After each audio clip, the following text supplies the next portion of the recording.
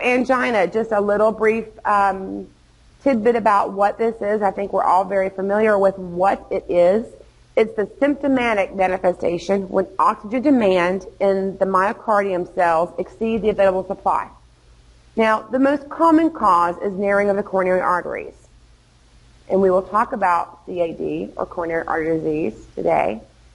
But the most common type of, the most common cause of angina is the narrowing of the coronary arteries. Doesn't mean that that's every time. Just because someone has angina does not necessarily mean they have coronary artery disease. Other things can cause that. Vasospasms, thrombosis, aortic stenosis, hypertension, drug use. Let me add that. Drug use. Cocaine, crack, especially. Other things to think about in your treatment plan, if your plan is not relieving symptoms, we may not want to just keep adding medications because of that order of treatment algorithm. We want to stop. We want to assess. We want to check for things like compliance, changes in episode, a uh, thinking of other causes.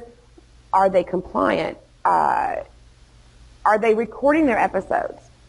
I like to have patients begin keeping an angina diary.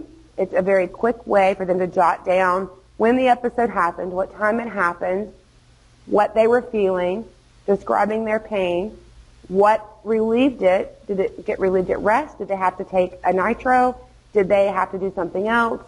And that way I can intervene and evaluate appropriately. And then I can make that part of that patient's medical record as subjective data on their episodes of angina. Works very well. And I can see that in patterns. That's a, a, a great idea for someone that is getting a diagnosis of angina for the first time.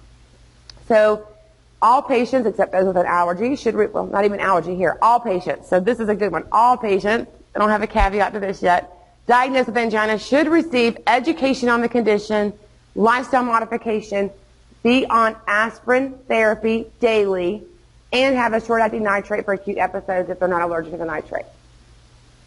All patients. We will talk about aspirin therapy. Aspirin therapy minimal 81 milligrams for angina. I like patients on 325. That's just one aspirin. And here's the scenario that I run into.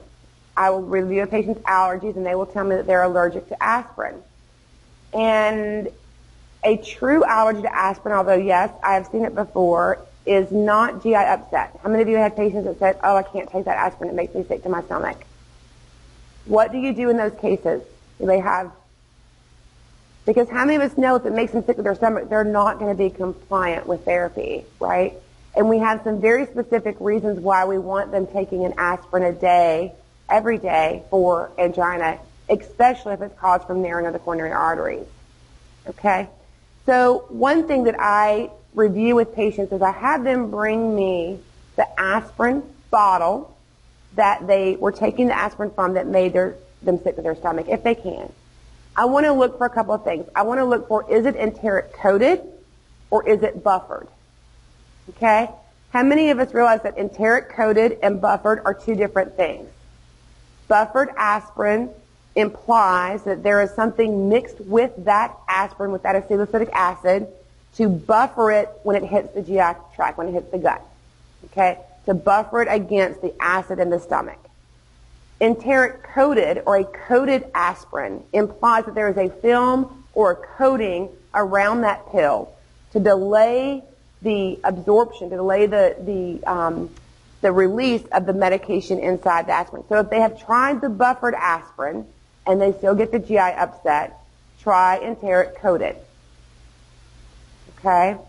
We really want to try our best to move through and to figure out a way to help patients be compliant with daily aspirin therapy, especially with this diagnosis.